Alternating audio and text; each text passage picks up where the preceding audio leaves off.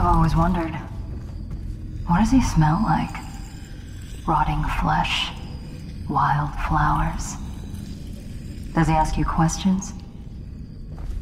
I wonder when he'll speak to me.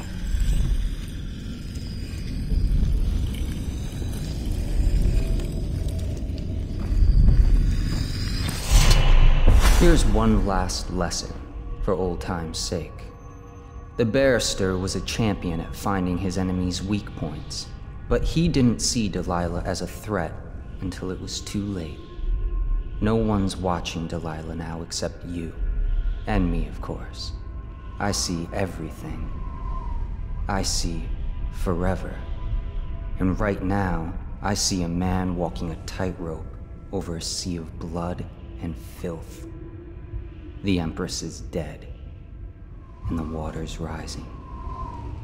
Rothwild's gone, and his slaughterhouse is burned to the ground. Even the Empress couldn't boast of a funeral pyre so grand. You'd better hurry. You're running out of rope. You were in a daze. I hope it was enlightening.